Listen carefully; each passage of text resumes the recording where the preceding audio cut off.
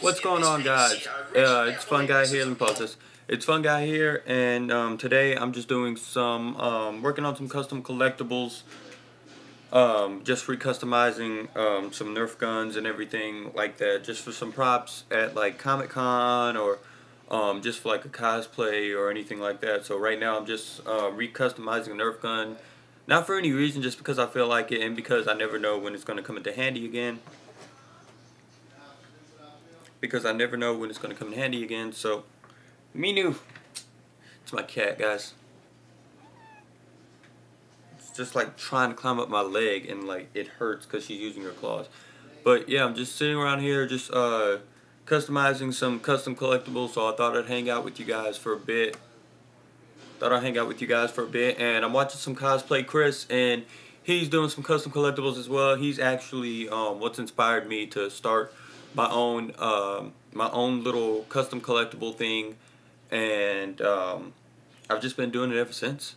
So yeah, we're gonna I'm gonna continue on this, and we're gonna continue, and uh, I'm gonna share the link with a few people who I know don't watch right now, because they probably have nothing better to do, or because they just want to watch. Let's go in here and do this. Facebook Messenger. It's not taking me to where I want to go. Or is it? Yeah, here it is. Alright. So I'll send there. I'll send there. I'll send... Maybe. Not really though. I'll send there. I'll send there. Um... I'll send there. And yeah, send. Alright.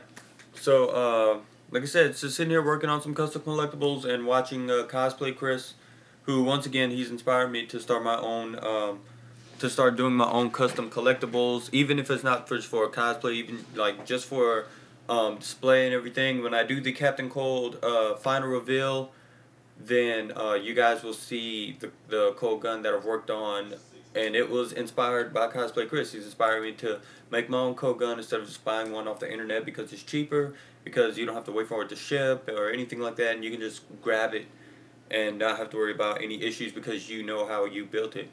So, uh, yeah. Thanks for hanging out with me, guys. So we're just uh, gonna keep this thing rolling. Whatever you guys want to talk about. For World War II gun on a plane. If not, I'm sorry. Please correct me in the comment section. I'm not. Hold on.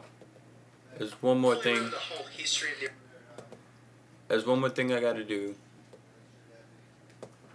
I gotta go to Facebook.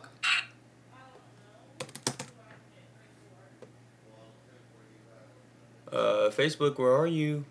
the original prop.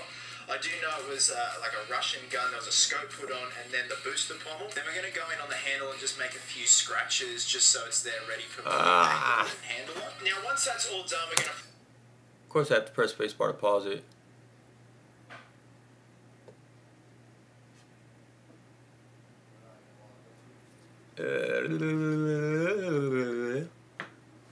My niece has me doing that, guys. Like, like she looked at me the other night, and she comes up to me. She goes, "Uncle." She's only two years old. She goes, "Uncle, Uncle." I'm like, "What?" She goes, eh, "I'm like, what?" All right. So we are gonna go ahead.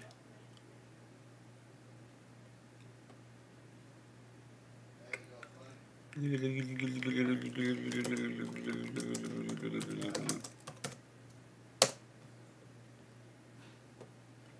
right. Now we can continue. If this thing can play, there it is. Primer. Then once that's fully dried and cured, we're gonna go over a nice matte black. Go And ahead and- brush certain areas with a gunmetal grey. Oh, that's 'cause it's a flat- that's the flathead, not the Phillips I was using. F1911. Then I'm gonna paint all this a metallic silver and then dull it down and weather it with a nice black wash. And then just general weathering all over, guys. And seriously, that's it. I've left the batteries in with the sound effects, so I kind of think that's cool. It's a simple process, yet Nice. an effective process. So with that, let's get to it.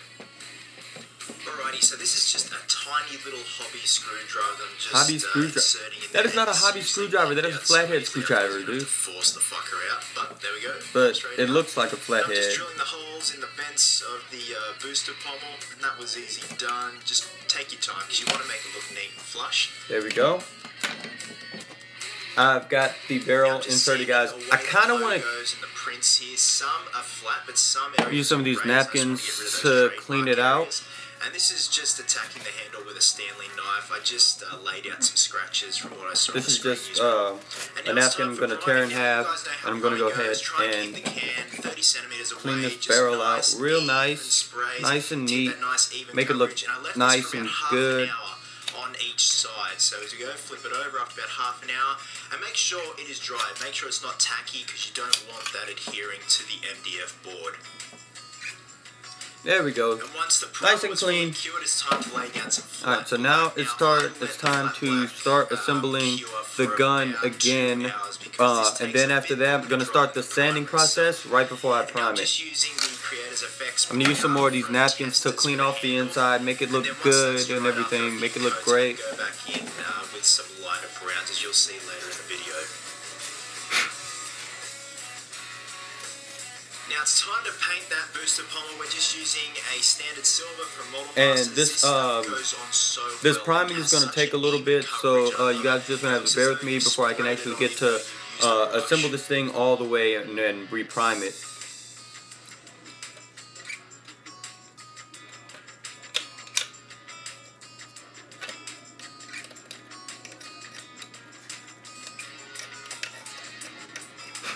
So I'm just yeah, I'm just cleaning it, making it look good, even, uniform, so I can put anything I want, like some some LEDs or anything like that. I'm gonna take some um I'm gonna take some chrome from Model Masters. I think I have it on the desk. No, I don't have- I think I do.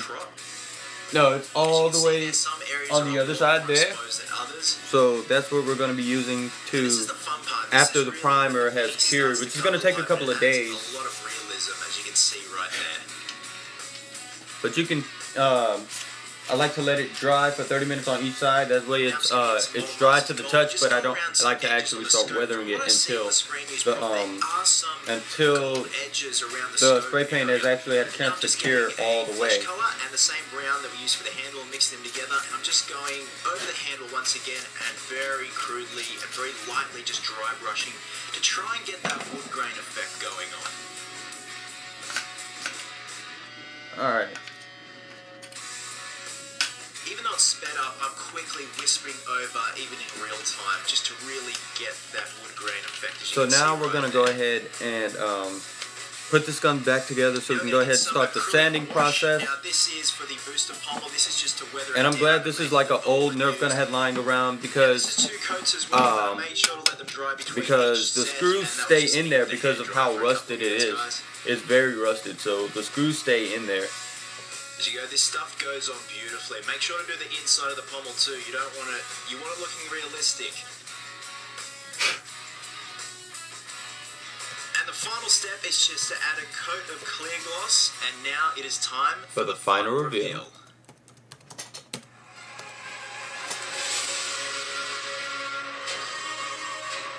Nunu, what are you doing? The cat, guys. Nunu. Is you gonna come on the chair or you gonna stay down there? Alright, so we're gonna go ahead and reassemble this thing.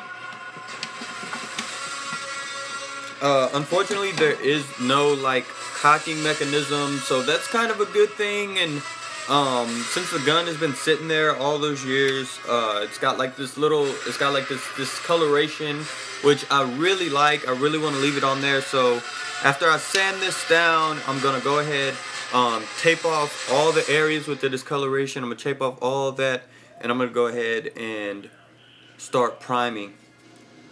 I'm gonna tape off that with, with some masking tape, and we're just gonna go ahead and get in there and just start priming this thing down. We'll go ahead and put the screws back in, guys. guys. This was a severely easy build. If it wasn't for work, I would have had this done in a day, but it took me three days. Process is severely simple. This is something that you could use if you had a last minute idea for a convention, if you wanted to do a Han Solo cosplay. I would eventually like to revisit this piece and actually put a proper working scope in there, so I may consider that down the track. Hope you guys are well. Hope, Hope you guys, guys are happy. Be, be merry. Silly, be merry. And until, until next time, kids, please always remember, cosplayers do best.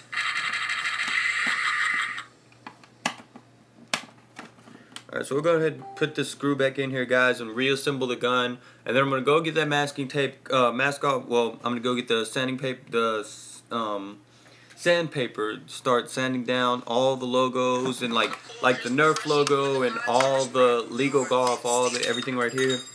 I'm going to go ahead and leave this logo on here because I really like this uh, Nerf Strike Elite insignia. It gives it like a um, uh, kind of tactical look. So when when I go ahead and prime it and I start weathering everything, I'm gonna go over this with like uh, Model Masters copper or Model Masters chrome silver from Rust-Oleum, no from from Testors, and just go ahead and give that some color because that looks great. We are going to be pimping out Cassian's blaster made by Nerf from Star Wars Rogue One. Not only are we going to be pimping the gun out, we're also going to be repainting the bullets that come with the Nerf gun. Wow get them out. How's a child supposed to get this out? There we go.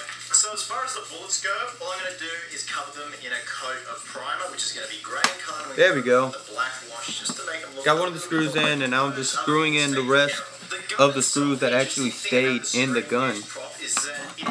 Most of these screws stayed in, so it's very easy to just assemble it. To expose steel and chrome that's been heavily weathered, which I think is really cool because they put a lot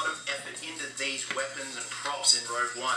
They just all look beautiful. So first things first, we have to get rid of all the bullshit insignia, the Star Wars logo there, and then we're going to prime it. I'm then thinking a coat of matte black, and then we're going to do a fading coat. All right, here we go. Some chrome, maybe some chrome aluminium from Model Masters, all hand painted, and have it fade into and black beautifully. Like I love how I can't I can't wait to see how this thing is going to turn out. Once I tape off the discoloration, I start priming it and making it look really used, really weathered. Um, uh, I assembled this thing and then I realized I don't have the trigger in there. But I don't know. What do you guys think? Do you guys think it looks good without a trigger, like a space gun or, or something like that? Just let me know, guys. But in the meantime, I'm going to get the trigger back. And I think I dropped the screw. No, I'm good. In the meantime, I'm going to get that trigger back.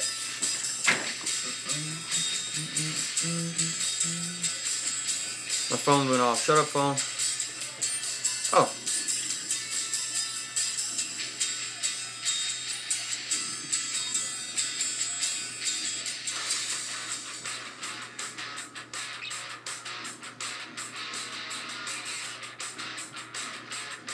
Someone asked me to come in and work their shift today. But it's still 5 o'clock, so I have plenty of time to go ahead and start priming this thing and taping off all the areas where I don't want paint to get. And let's see.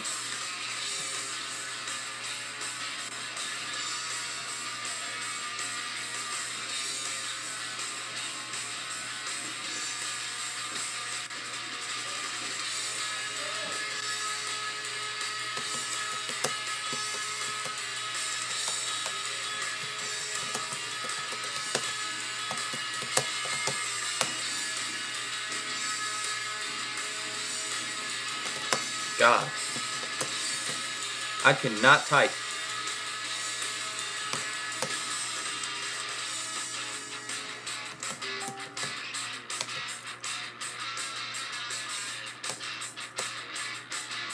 I cannot type at all, guys. I'm I'm not good at that. I'm gonna go back and get that trigger real quick. You guys can type.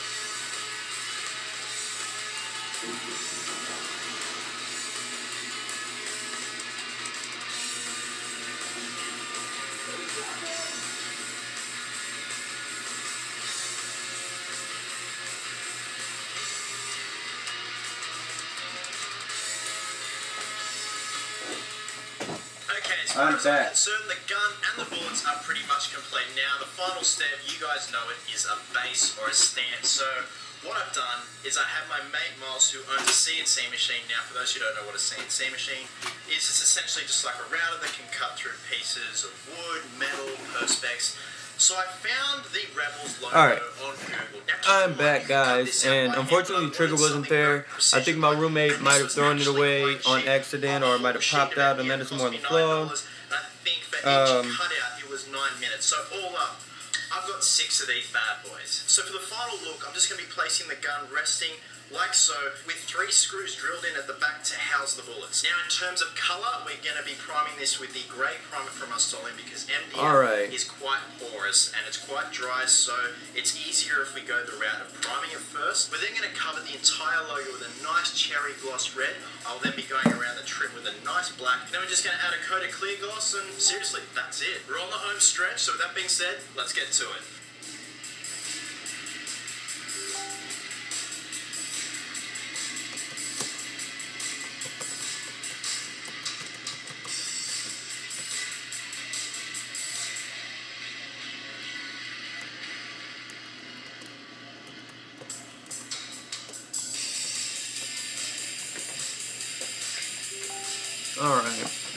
Let's finish assembling this thing. Oh, where's my screwdriver?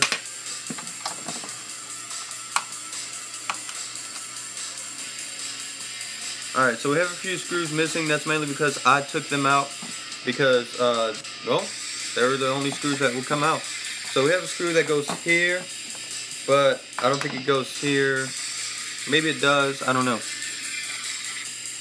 But there are essentially a few screws missing because this gun is so old, so I just decided to grab it and just do a um a collectible on it. So yeah.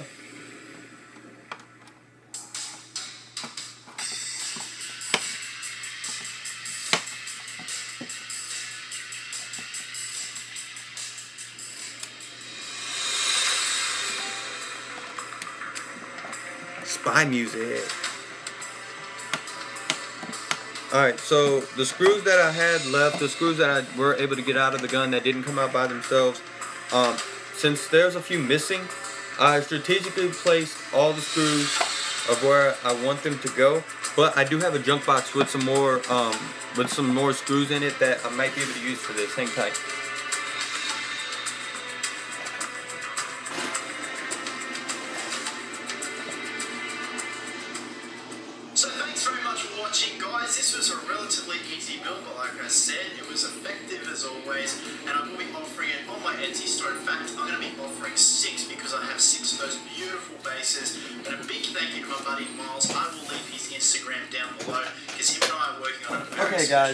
This is my junk box, includes 3D printing, And some people would say I collect way too much junk, but there's a good reason, because I'm always using it. with you guys an email I got from a gentleman All right, so let's see what I got in here that. I can use.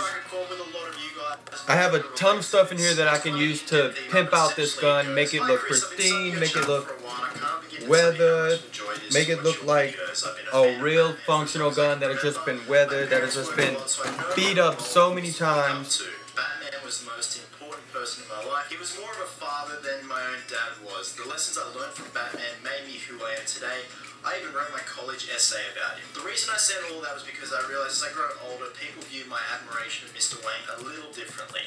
I've been looked at as weird by a lot of people for being a high school senior who likes to watch Batman all the time, or as a bunch of right. stuff, or even dresses like him. I even get awkward looks from my own families at times. My aunt gets uncomfortable with anything I do relating to Batman, and I'm even afraid to up Okay. my girlfriend, There we go. who accepts my hobby but isn't into it as me. It's because of all this All right. I've kind of been detoxing from him. I still watch Batman So, movies and YouTube videos, and I'm I got this switch series, that I can really strategically glue on there anymore. It's been somewhere, make it look, you know, really, make it make the gun look really beat up make the gun look like. Maybe something make me feel futuristic, maybe something just saw your room space. tour and seeing a grown Um, man with a Batman comforter almost brought tears to my eyes. Let's see. I know many adults in the DC community are able to be themselves, but seeing a man like you who isn't afraid All right, I'm gonna get the off what he's scissors and go ahead and cut this. To be a geek really inspires me. This is the first time in weeks that I've actually wanted to put the mask on again. You help me realize that no one's opinion but All right, mine matters. here's the, So I'm uh, not gonna lie, I the- felt up the- when I first read that email, and to to properly answer that, Eli, for anyone else that's in the same conundrum, I was there. I used to be in that mindset. If you try to make everyone else happy with your happiness being at risk, then you are just going to have the worst life.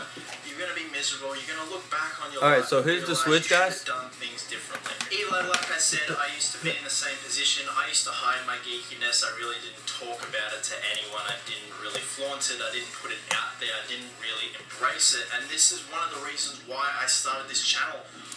To get out there. There's the switch, guys. It's amazing. It's embracing who you are, what you love, and what your passion is. And you've got to understand, you will always have your critics, no matter what you do in life. Whether it be He's speaking truth, guys. In this case, YouTube All right, so either I want to take this whole switch and just take it somewhere, uh, glue it on there with uh, with some Loctite, something similar, and yeah, that uh, that can actually work well. Actually, let's see. I, I just got like an idea, so I gave him a job that had so much security in it to take on something that I love and am passionate about. It's a big risk, but I don't care because, like I said, at the end of the day, so make it a good one. Trust me, Eli. The less fucks you give, the happier you'll You will So be. that being said, thank you very much for watching, guys. Hope you're well. Hope you're happy. Be merry. be silly, and until next time, gigs, please always remember. we all do our cosplays. best. He said it. He said it better. I said cosplayers do it best. He said we all do it best. That's one of the reasons I like that specific video. Ooh, this is one of my favorite ones he did. Uh, the Force Awakens, the Tie Fighter makeover. Um, it's amazing how he did this.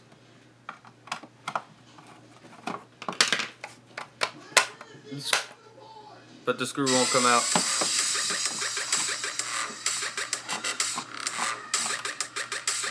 This one will though, because it came out originally. What's happening, my fellow geeks and geekettes? Welcome to a brand new episode of Chris's Custom Collectibles. Now today, we're not going to be pimping something out. We're going to be destroying something. We are going to be destroying the Hasbro Force Awakens. That is a huge TIE fighter. Now I got this on clearance from Toys R Us because it was missing the pilot. I got it for dirt cheap. I don't need the pilot for what I want to do today. So usually, you know, we put some washers on it, give it a nice new paint job, do some highlights. I will be doing that, but we're also going Alright. to recreate the crash site So we can- Force Awakens at the beginning of the film. I don't know, I just thought it'd be really cool, just thinking outside the box, and it's a lot of fun. Like I've seen screenshots and I've seen some amazing fan art. I just think it looked really badass with a nice dynamic bass dragging through the sand with all parts scattered behind it. Ah, it was hard to take this thing apart the first time. Of wing missing and just dragging behind the actual crash site. So what I'm going to do is Alright, so we got it apart now. So what I'm thinking is just to have fun with it, just to get I switch, if it'll fit through. Uh, if it was a bit bigger, I'd fit it through, but I, and I don't have a the Dremel. So maybe access, the use this little access port to put the switch in there. So in terms of the base, it's going to be similar to K-2SO where I will be using some Trowlon so I can really drag it into the base and I'm going to cover that with sand and then char the sand to make it look like one big charred trail. And the added bonus is whatever I cut off and whatever is used as excess and spare, I can mount in the sand to make it look like bits of debris that just scattered right up to the site itself. Really excited about this one. It's different. It's Um, going to be a lot of fun. Can't- that being said, Let's get to it. Alright, so right now just trying to figure out what I'm going to do Okay, with this you little switch before, because to it is it's something that I, I was just looking in the junk box right here. I have a lot of miscellaneous parts because I'm always using them for, for prop making, for anything like that. So um, what I'm thinking is I'm gonna worry about my gimmicks and switches after I sand it down and after I primed it. Then I can figure out what I want to do with the switches, where I want to put any gimmicks like that, um, where I want to put any screw holes, any legal, any anything that I want to do to this gun. I'll just think about that after sanding it and priming it.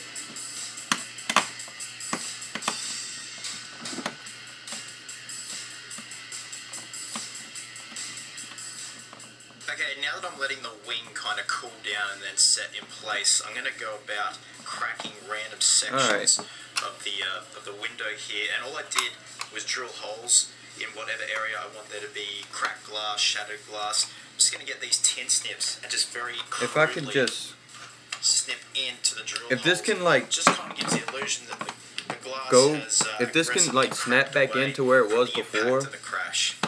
this would be great.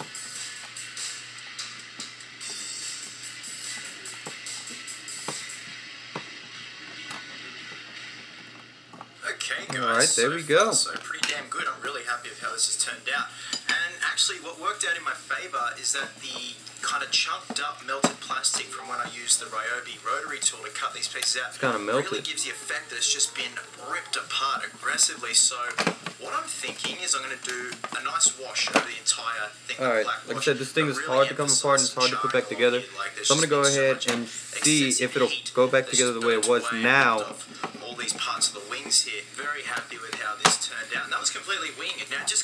going to get this sandpaper sponge and just start to sand away some of this red paint because from what I could see, the red paint Nope, has been nope, it needs to come apart again. charred away and it's just exposing the black kind of metallic understructure. Like I said, we're going to do a black wash. Like I said, this gun is very old. This this this is a retaliator that came out before this retaliator. Um, this one I'm going to be recustomizing too. It's got a lot of weight to it because of all the internals that are there. I'm thinking I'm going to leave this a firing Nerf gun whenever I get ready to do whatever I'm going to do with it. I'm not sure now, yet. these are the offcuts from the wing. I'm going to be utilising these as scattered debris leading right up to the crash site. I did melt this part of the See. wing just to really bend it, warp it out of shape. But it's great. Like I will be doing a wash on these and doing the uh, charred areas as well. But it's just going to really add to the realism of this piece.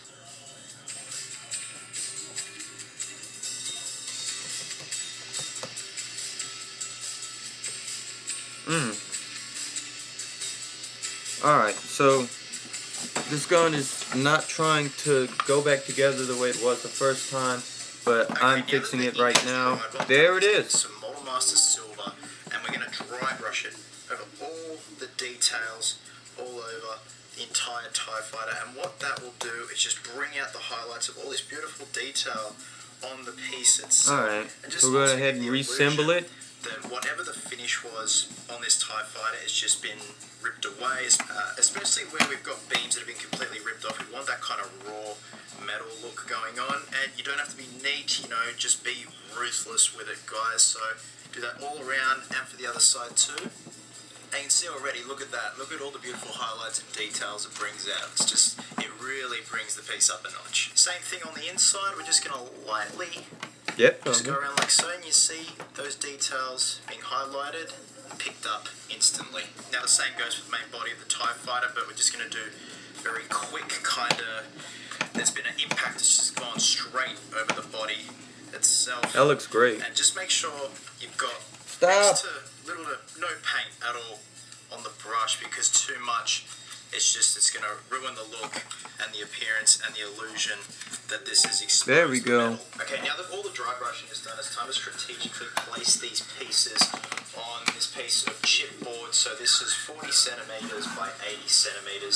So Alright. the plan is we're going to hot glue everything in place. I do So we got everything, I just need to put fighter up on some photos. one screw strategically somewhere on the gun. I'm thinking about this middle area right here, if it'll go in. Everything is hot glued in place. What we're going to do That keeps it from coming so apart. part A, part B, which is a much more thicker resin. So Yeah, it's keeping it from coming apart. Dug into the sand.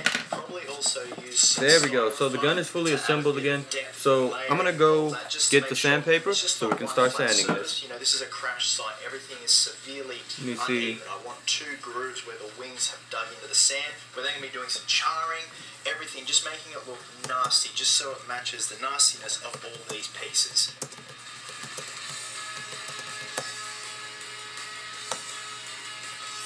I'm gonna send the link. More.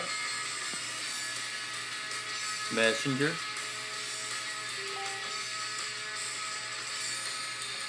Send. Now you can see I've made the grooves in the foam where I'm going to make out as if it's just, you know, the track Alright, that so- it's led to and then comes to a complete stop here. Got pieces of debris here. Now, if you take a look up here, this is the trowel on. Um, I'm just experimenting with it just to make sure it cures properly on the foam. The only thing is, I don't have much left, and I don't want to spend any more money on it because, you know, with custom collectibles, we want to try and do it on the cheap. and still make it look good. So I may have to just get some builder's bog from Bunnings, which is cheap. You get like a big tub of the stuff. So I'll see how this goes. I'm going to use up this last remaining bit here, most probably to build up the areas where the TIE Fighter itself is lodged in the sand. So as long as I can get that done, I'm happy. I also do have to go along here and seal up this area and blend it in. Because ideally, I would like some nice black trimming All right. along So here. I'm gonna. you know, Me make it new. look like nice I'm going to get that sandpaper piece. so we can start Okay, sanding this.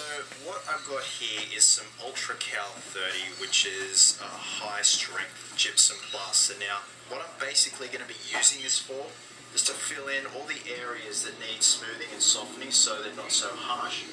And it gives the illusion of sand, and then I'm going to go back over them with the trowel on 60 because I'm limited with trowel on. It's going to be easier to cover up the areas that require some smoothing with Ultra Cal 30 because I have All right, here we go. And dries to a very So what I've got here is um, some sandpaper I bought a while back when I started my Captain Cold gun. Um, Um, it's just going to be added strength. So basically, you know, the grooves down here, and obviously the tracks that run along here and surrounding around all the pieces, this will be used just to make it look a bit more natural. Okay, so here is the Ultra Cal right. 30. So um, this is Placed in all the some 80 grit sandpaper, I believe. uh, Yes, 80 neat. grit, you can see, uh, and orange, sort of it's from colour. 3M. It's the Pro Grade a- that's a Precision sandpaper. So it's a very fine sandpaper to help me get rid of this logo really, really quick. Like. Um, if it if if I got any finer sandpaper than this, it would just be like a sponge, and it would just it would just kind of ruin it. so what I'm doing is I'm just cutting off a section. Um, I'm just cutting off a section of it that that I can use enough to help me sand out those logos and make it really, really smooth.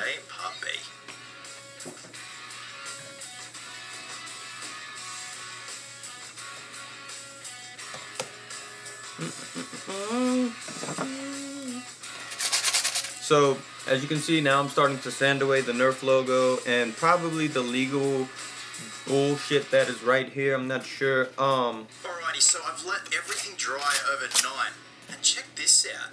This is the trowel on that has been laid over the Ultra Cal 30. And because there's moisture obviously still in the Ultra Cal, it has made the uh, the trowel I'm gonna say, wanna what? Like it's set, everything is set. But this has turned out really good. I kind of had an inkling this was going to happen, but not everywhere. And this has worked out in And my favor here we because go. I want Oh, this uneven I don't know if you guys can see her behind the chair. After all, this isn't going to be perfectly laid out sand. You know, you got to have a Now sense of realism here. So now that everything's dry, the next step So we're just sanding it out like down. these three little screw, these three little molded screw holes. I don't want there to be. Got I'm just glue. sanding out. Because I don't have sand in the driveway anymore and it's been raining, I'm gonna buy some sand. This is paving sand. This is 20 kilos and it cost me seven dollars. So And look at this this. is gonna last me a good couple of uh, custom collectible bases. So what I'm gonna do, um, there's no need to explain it, guys. You just gotta get a brush, get a PVA glue, lay it down where you want sand to adhere. There will be some See, sand. see how that Nerf logo turns white after you and sand it out? I mean, Um, I'm then gonna get the that would look nice if I wanted the Nerf logo here. To still be on here, but I don't want it on here. You can see outside. Um, I just want it to great. be. It's still raining. It's quite cold. I want it to be So gone. Like I want it to be completely smooth. take a while to That way, um, that pr- when that primer goes on there, it doesn't make the Nerf logo stand so out. much work to do. I'll show you guys what's on the table at the moment. I'm practically like living in the Let's workshop. see. You can see here. I've got uh, I got my shaker. I've got my banana. I've got my protein bar. And this is actually a damn good protein bar. This is from a company in the UK, My Protein. Because I'm always on the hunt for new protein bars, and this shit tastes damn good. It curbs the cravings. I'm trying to lose barley weight. She's she's Too wow. So I've got these three mech helmets that I've gotta, you know, clean up. I've gotta do some dremeling on them and start painting them. I at least want to get them all cleaned up, get the first coat of paint on, then start weathering them. I've also got two wearable mech helmet kits that I've got to clean up. So it's all happening, guys, but I'm really thrilled with how this is turning out. It's just awesome to kind of go to town and just fuck shit up on something Ah. and not make it look all. Ah. pristine and neat. So, you know me. What are you doing, huh? You gotta think outside the box. So, with that being said, let's lay the sand down. We're gonna leave for Yeah. 24 hours, and then we can get to work There. detailing Over the there. terrain.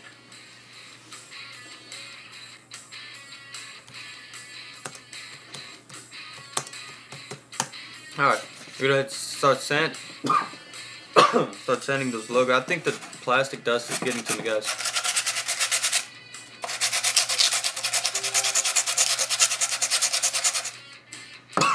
Yeah, it's getting to me. Ah. I'm gonna get some water.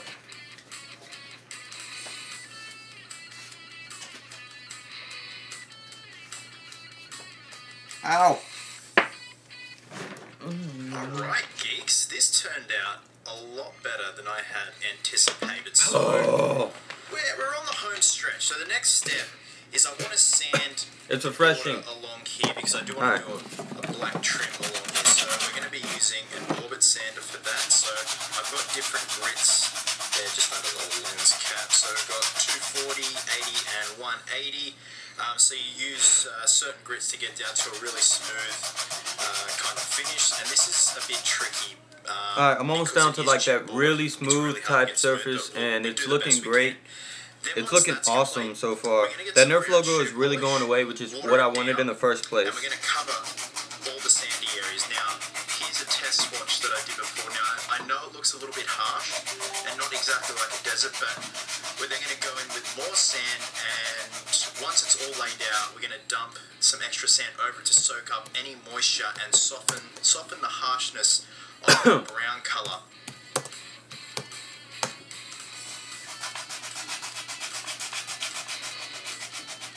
Stop it, cat. Stop it.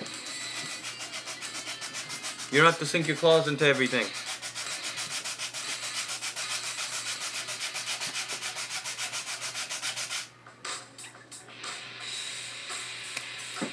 Ah, the dust is getting on my fingers, yes.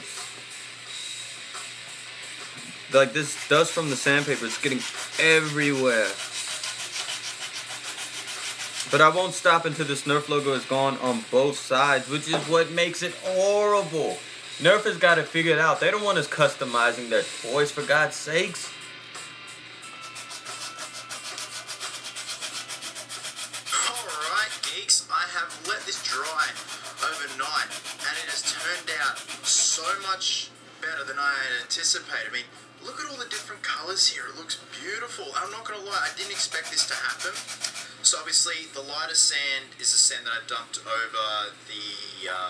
Looks great, guys. You guys should see this right the now. down shoe polish. And I've just got to go over and give it another kind of brush with a dry brush just to get all the excess sand off before we do anything else. But it's just perfect. It's just, I, I wanted an uneven texture and surface. I kind of wanted to give the illusion that this is a dried out kind of environment as well, and the ship has been here for Alright, quite so I'm gonna get this. Now, dust off and see if the now, Nerf but before logo- I I kinda don't wanna painting make this all the way smooth, but I have to- I've got these electrical wires here, so what I'm going to do a, is a, a, just Wespa- use a random parts of the red and black and also completely A them and use the inner workings and put them on, say, different parts of the TIE fighter's wings, uh, the debris, uh, even in parts of the sand, just so you know, it shows there's inner workings to this TIE fighter, just gives another sense of realism. So after that, it's time to do the charring marks around the debris and the surface itself. So it's going to be a combination of a matte black What are you doing? Rust-Oleum, just spraying it in random areas, and also a bit of airbrushing. Now, I know some of you guys don't have an airbrush, and it's totally fine. You can do this by hand. This airbrush is actually on its last legs. I've got to go get a new one from Super Cheap Auto, probably sometime next week. I've had this since 2011, so it's served me well, but it's getting to the point where it's constantly clogging It's up. almost gone, it's almost gone, guys. So this is perfect for this. Um, oh shit, that's a tripod.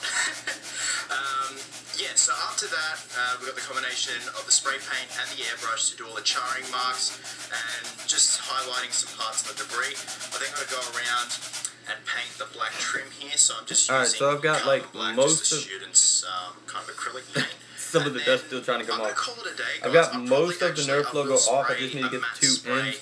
over the uh, body of the TIE fighter itself because it's looking a little bit glossy at the moment for my liking for something. Like I wish this would just go away like really like quickly, but this so is not that type of gun. Guys, I'm really happy with how this has turned out. I'm not gonna lie, I completely winged it. Yeah, get it.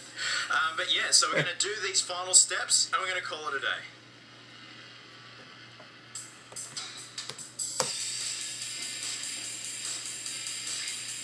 Uh, Minu.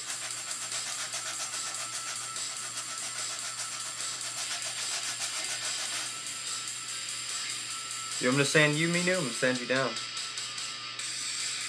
Yeah, this will hurt your claws. Here, try it.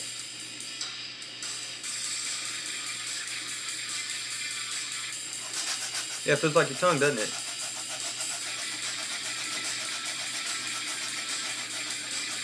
She's really trying to attack me right now.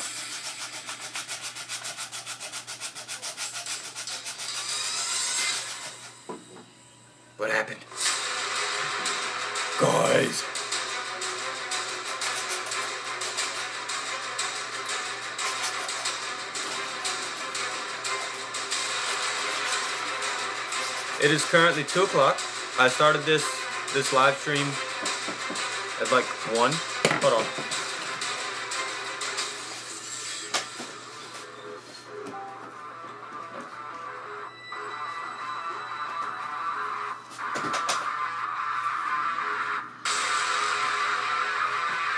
All right, so here we are, guys. Still standing away. This is renderous. This is kicking my butt. So thanks very much for watching, guys. All in all, I'd have to say this is my most favorite custom collectible to date.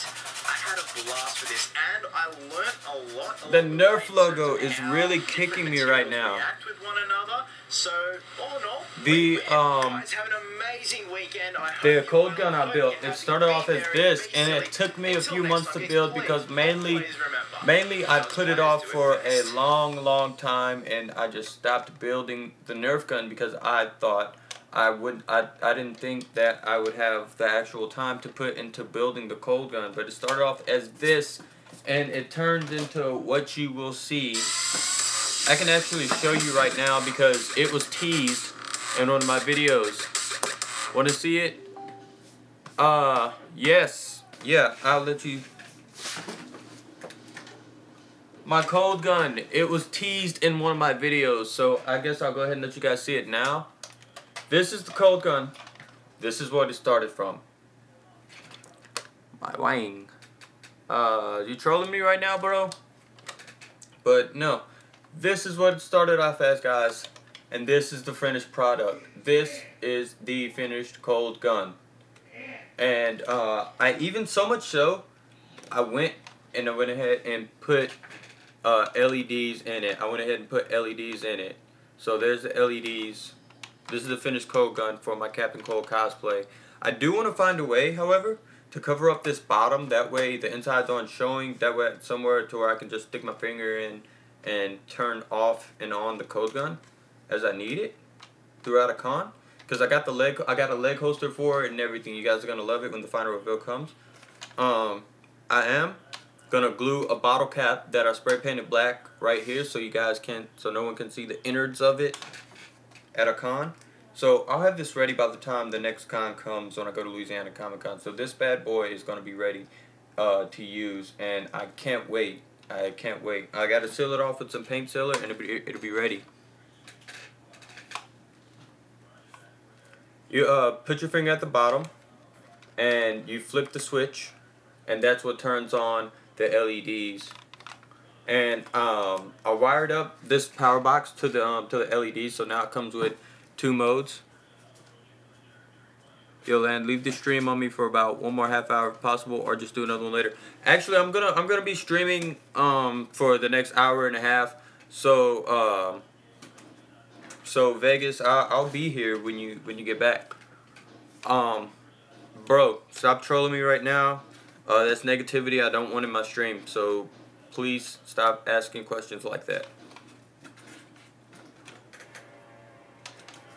Minu, stop. No, stop it. Stop. Stop it, cat. Don't meow at me. Yeah. It goes in the bottom, and uh, since I wired up my switch, I wired up my own switch, so the thing comes with two modes. It comes with like this little firing mode. That's what I call it. I call it firing mode because when I pull the trigger, I can flip the switch, and that's what it'll look like. It'll firing, and then it comes with the solid colors, which is just one solid color. You can point it at someone and be like, "I'm Captain Cold. Give me all of your lunch money." No. Where? Cat. It's my cat, guys. She keeps trolling me too. I think she does it on purpose. Stop trying to eat me. I did nothing to you. Stop it. Ah. Stop. Stop. Stop. Stop it. Stop. Ah.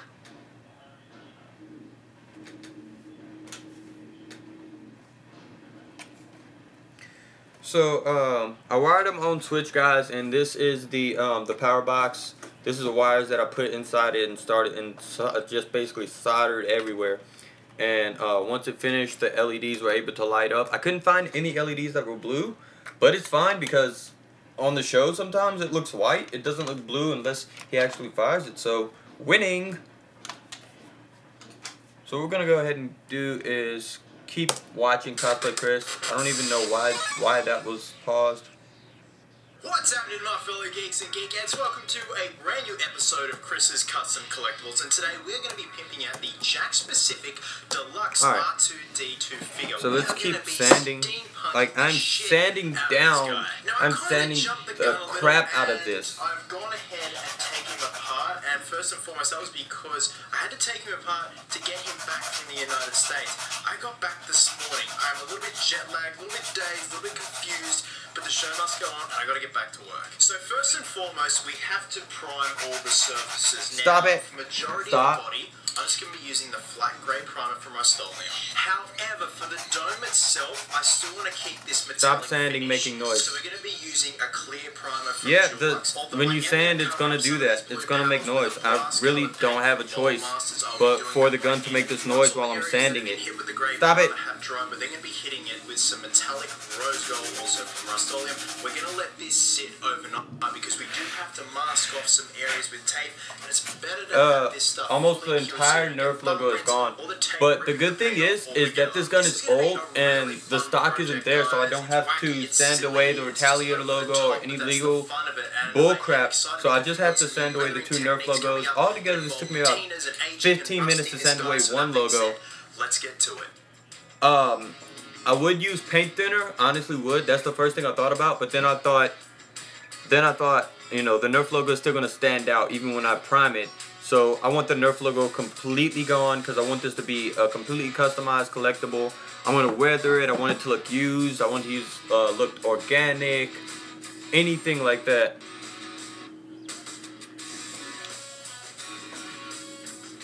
Take the vids off of YouTube.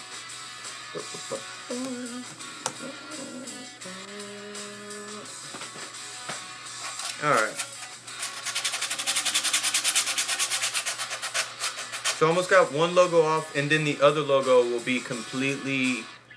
It'll be a breeze because I'm gonna use a fresh piece of sandpaper. I've been using this sandpaper um, since since I did the cold gun. Um, this is the last piece of sandpaper I used on that. So I'm using a completely fresh piece of sandpaper. I'm gonna start over when I um when I do this other logo. That way it'll just be a breeze. It'll just be easier to do.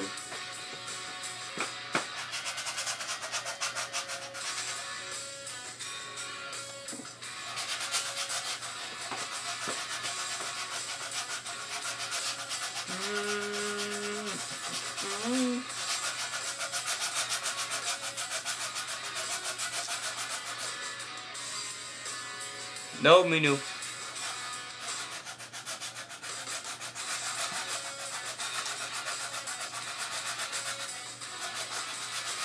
Alright, so one logo is almost off, guys. This has been like, this has been kicking my ass. And I have until like 4 o'clock because I have to go into work. Somebody called me in and they want me to work their shift. So, um, hopefully my deal is once, uh, once I've become a successful enough YouTuber, I can actually quit my job and go full time with YouTube and um, be getting paid with YouTube, live stream all the time. Uh, that is my hope, along with the uh, DC superhero team that I'm making. So uh, hopefully, once we make enough money from that and make enough money from uh, prop making, we'll be able to quit our jobs and just make money being professional superheroes. That's my hope. So the next step is to do some hand painting, just little details, little panels. So I've got some chrome silver. Um, I've got Go to some options and brass remove colored it. paint, some copper colored paint. Now, the brass color I think is an acrylic. Yeah, it is an acrylic because it's a lot more watered down, a lot more thinner than these guys, which are enamels. So I will be using this as a wash to kind of get in all the detail and start the weathering process. Whereas these two are a solid color when hand painted on. So Hmm. these are for doing you know little detail work that I can't really mask off, and spray paint is just going to take way too long. Now after that, we're going to try a brand new weathering process. Now I don't know if uh, you guys Alright, saw so one we of go. live videos. I picked these um, rusted patina kits up from Hobby Lobby in LA. So this is going to be all new to me. It's trial and error. I don't know how it's going to go, but we just got to wing it. So Got the first step logo completely I'm gone. to look I'm gonna go ahead and fill it um, to make sure that's not standing out. or just all over, especially the head. Okay, it So is I really completely smooth, guys, and like the dust just wants to stay on me. So what you do is you lay down your primer wherever you want it to go. Once that's dried, you then put an iron cover over, and then you spray the rust effect on. Now this activates the uh, the rusting process with these two paints. After that, What are you doing? I want a patina look, like an oxidized look, as you guys can see right there. Um, if majority of R2 is now copper and brass, that is what's going to happen uh, if you're exposed to moisture and dry heat and just um, unprotected metal. That's what's going to happen to it. So again, we've got a primer, we've got copper, and then we've got the spray that activates so the there we go. So One logo is really completely off. This took me about about this. It's gonna go 30 one way or the minutes, and it was just kicking my something. ass. So just one logo to go, and I'm gonna use a new piece of sandpaper. Yeah, you're about to meow at me, weren't you? You try- What are you biting at me for? Don't bite at me. That's what I thought. Don't don't claw at me in either. All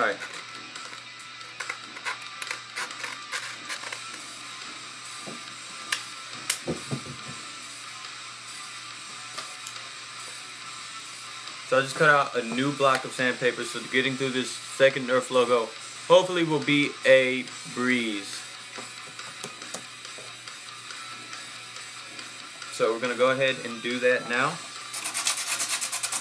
It's hard sanding a new logo because all Okay, the now noise the it makes. first weathering stage is complete. It's time to move on to the oxidizing and patina. As you can see here, I've done some tests right around here, and this stuff works amazing. So you've got to place it in areas where there will be oxidization, a lot of moisture. I'm digging around the perimeter here of where his head constantly turns.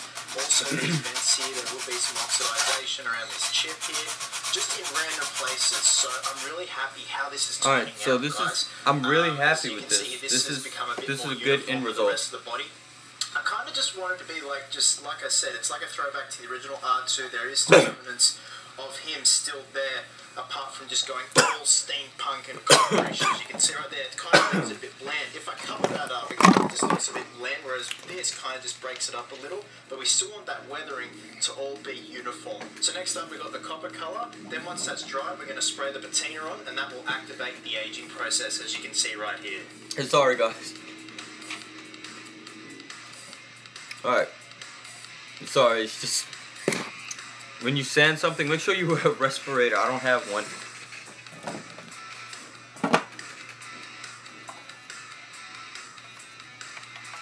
What are you doing, huh?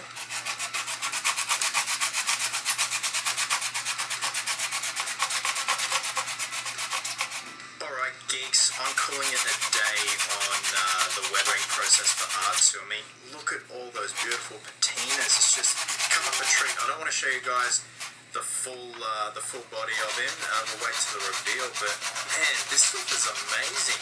Do wear a mask if you guys are attempting to use this product 'cause it is kind of stinky. I think obviously the paint itself does have metal uh, metal powder in it. That's how the patina activates. So next up, we've got some accessories. So Some I've got accessories. this idea that he's like traveling the desert with his bandolier belt. So this is like the shoulder pad that's going to rest over this shoulder here, and it's got this little bandolier with little potions and just trinkets he's picked up. So these vials here, these three were filled up with some food coloring, you see right here, and the final one is just filled with um, with plaster What are you powder versus doing? Ultra Cal 30, like it's a little healing thing like sodium benzoate or something like that. This is also a little trinket thing here. This is That's just cool. What he's dirt doing from my with this figure. Believe it or not. So I just want this to be wacky and kind of just outlandish. So it's something so different. Now all of these accessories were purchased from Hobby Lobby minus the leather. This is just spare leather I've had lying around.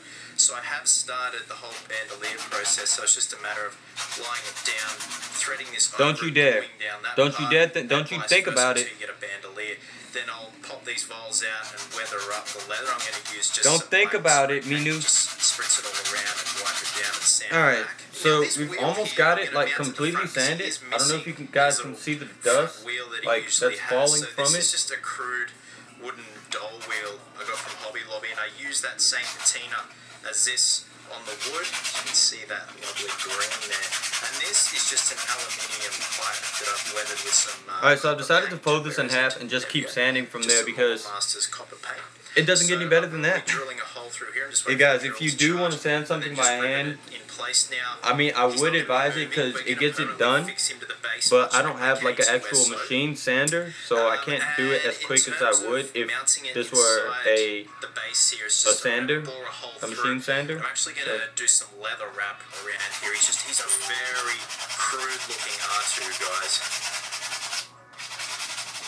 So if you guys ever want to cu- cu- customize a Nerf gun, now you know the hassle. Uh, if you don't want the the logo on there, now you know the hassle of trying to get the logos off there. Mm. Sandhorses.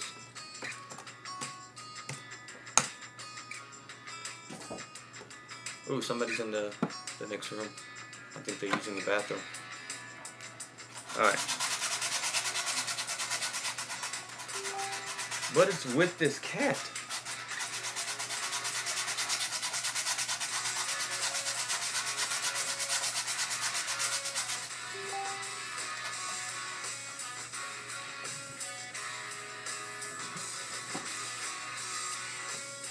Put me to.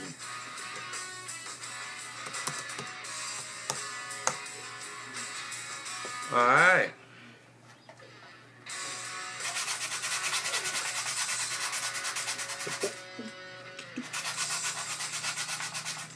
Oh, dude, this thing's like completely hot from all the sanding I've just been very doing. happy with how this belt is looking. Um, a few more accessories. The token steampunk octopus. Now, I do have to colour this back a bit because this is how it came from Hobby Lobby. It's already oxidized, so I'm going to be placing him like so, just on the side like that. I will bring Ah. him in. Um, using these Ow! um, tentacles here. So I probably will use the same patina as I have on the rest of the body. I'm gonna just kill so I can a get a nice cat. uniform look. Now I do have the monocle. You want to get out of here? It, this is gonna get really silly. So it's kind of like You wanna get out of here? his lens is scratched and damaged, and he needs a monocle to see properly. So this is how it originally came from Hobby Lobby. It's the randomest thing ever, but my god, it works really, really well. And I also have a pocket watch now. I'm gonna get an old vintage photo of C3PO. I I'll see if I can find a steampunk C3PO and put a photo in the pocket watch just so it's No, like a little reminder for him. This is so silly, guys, but I'm having so much fun with it. This is an extra strap that's going to go up this way, so it can house the chain for the uh, pocket watch and the.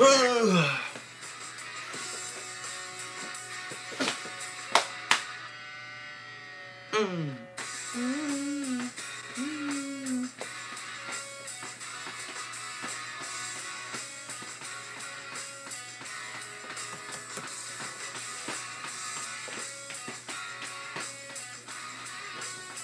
I'm the link with a few other people.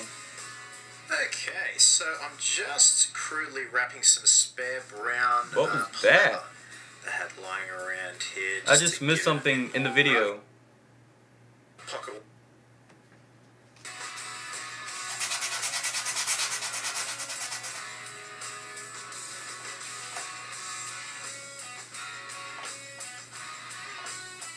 This is why I always watch his videos, because every time I watch it, there's Okay, something I so missed. I'm just crudely wrapping some spare brown uh, pleather that had applying around here just to give it a bit more ruggedness. Alright, so the logo is almost sanded off. exposed And the that dust is just be, uh, all over my fingers. The base of R2, so I'm just charging the drill again, and uh, we're going to get a drill head that's similar to this thickness, not the exact same, because you um, you really just want to force it up in there. Sounds so wrong.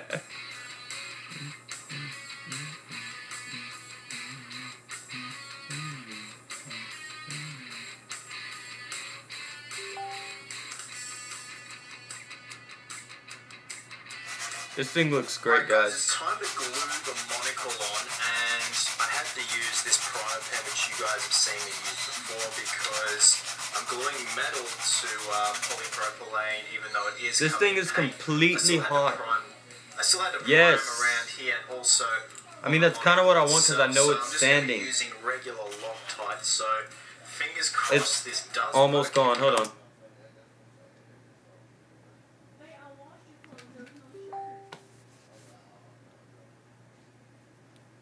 Right. Good to know my phone didn't go off.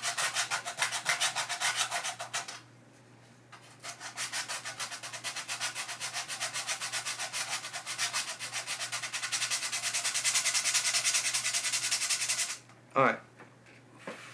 So I'm just blowing it that way so I don't get caught up in it again. Once again, and last time. I just gave it like the biggest blow I possibly could. That sounds so naughty.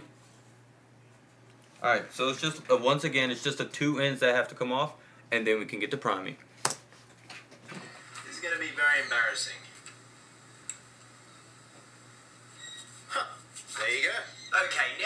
Okay, now that R2 is pretty much all complete, it's time to move on to the final step, and that is the base. Now, I'm going to be using methods that you guys are familiar with, but I'm also going to try something new to keep the theme of rustic steampunk. So, I've got some MDF board here. Alright. It measures 45 centimeters this way. I'm also going to measure 45 centimeters Uh, who's ever So watching right now, I know you're probably getting tired- if it's it's Vegas, out, awesome. Because I know. Vegas is truly committed to the channel. warehouse.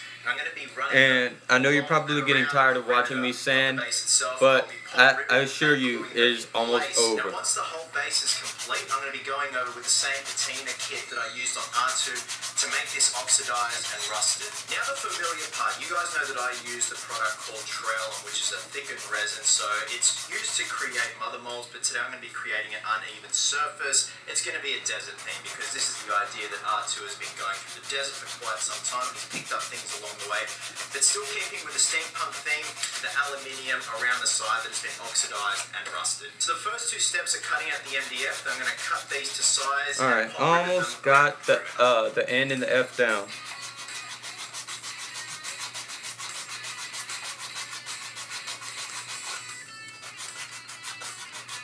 So yeah, in case you guys were wondering, now you know how it's done.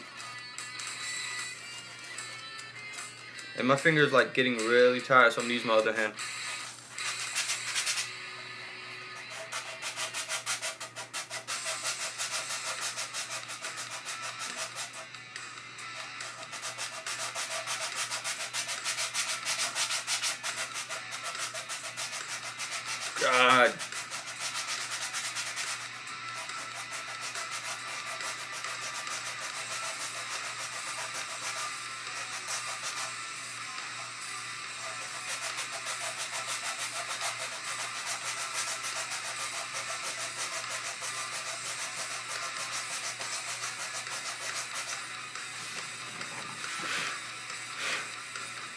Get away from it. Blow. Get away. Doesn't hurt to blow the other side again. Alright, so if you guys want to, I'm not going to do it. This is completely optional because I need to hurry up and prime this thing. Because whenever I, um, whenever I stream tomorrow, I wanna I wanna uh, have been able to start weathering this thing and making it look rugged and just. Mm.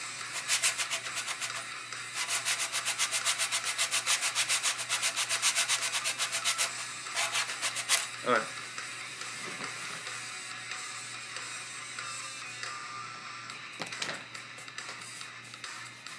Alright, so we're done with that. Blowing, get away. Blowing, get away.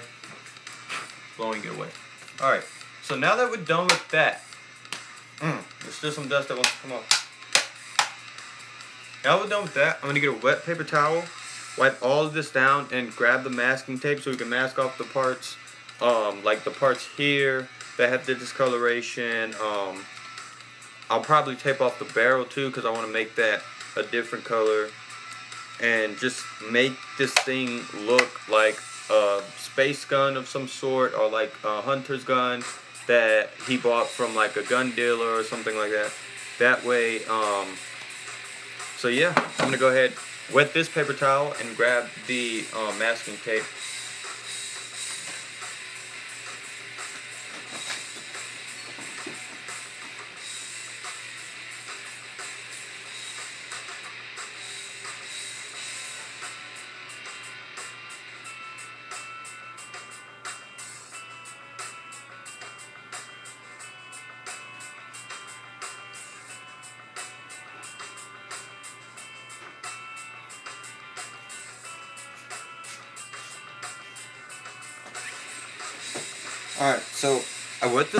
This not enough to where it tears apart, but also drained it enough to where it's still like kind of wet.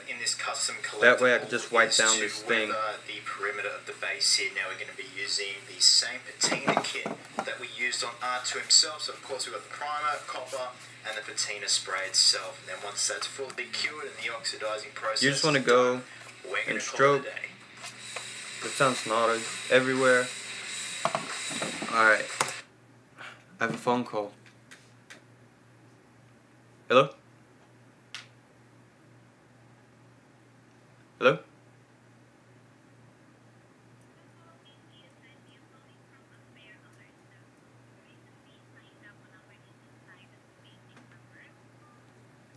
Alright, that's just a telemarketer, guys.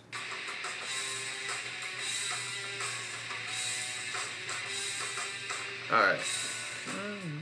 Now, whilst the patina is drying in between coats, so before I end this stream, I want to go ahead and start priming this thing.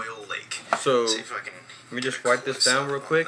I'm going to get the masking tape and tape off all the areas where I don't want paint, where I would like that discoloration to be.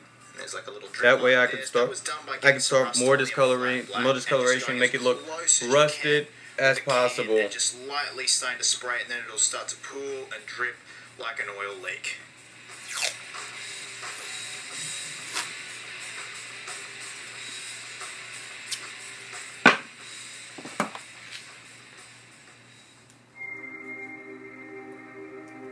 Alright.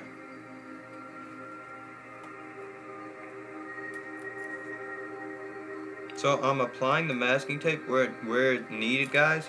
I'm going to ultimately apply a few layers. That way I know the primer doesn't try to bleed through and get to the plastic.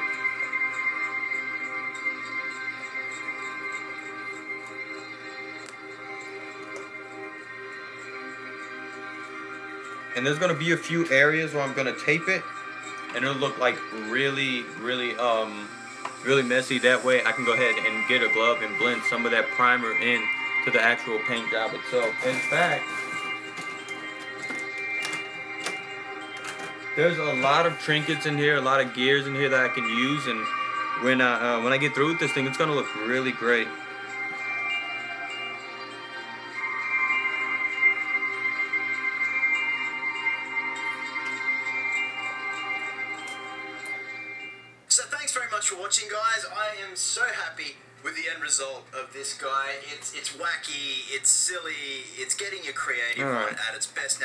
Say, you know, he's for sale on my Etsy store, um, but I am just going to limit him to shipping within Australia. So if you guys want to contact me privately and you're in Australia, if you are in Sydney or New South Wales, that's even better. Um, you can contact me at cosplaychris at gmail.com. I don't have a price in mind, just hit me up with an offer. Just be reasonable, I guess, um, because I don't want to ship him worldwide. First and foremost, I get really worried about him traveling along the way, whether or not he'll get damaged, because I do know the Postal Service love to play soccer with my boxes. That sounds really bad. Guys, I hope you have a fantastic week. This Thursday, I'm flying down to Melbourne for Supanova this coming weekend. I can't wait. Gonna get some great footage. So on the Saturday, I'm gonna be Captain Boomerang, and on the Sunday, Pirate Batman. Hope you guys are well. Hope you guys are happy. Be merry, Alright. be silly. And until next time, geeks, please always remember cosplayers do it best. Alright, so I'm going to go ahead and put multiple layers on here across instead of up and down. That sounds so naughty.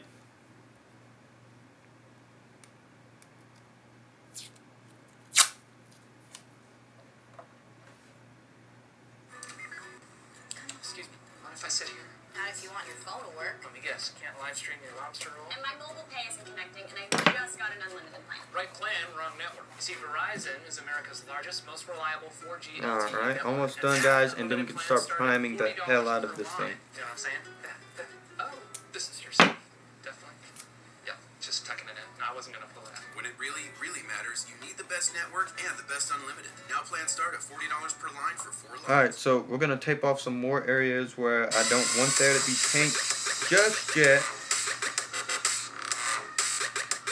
Why is the cat always doing that? I'm to go ahead and tape off this barrel. What's happening, my fellow geeks and geekettes? Welcome to a brand new episode of Chris's Custom Collectibles. Now today, we are going to be pimping out the Jakks Pacific C-3PO from Star Wars The Force Awakens. Q, you probably won't recognize me because of my red arm jokes. I have been searching for this guy for a very long time. A friend of mine by the name of Sam suggested that I should customize that guy. I said, dude, that's a great idea. I just can't for the life of me fucking find him. Flashback to a couple of days ago, and hashtag my buddy Miles was out of the movies with his other half and said, hey man, I've seen the C-3PO. Do you want me to grab him for you? So I said, yes sir. And here he is in all his ugly injection molded plastic glory. Yes. A lot of work to do.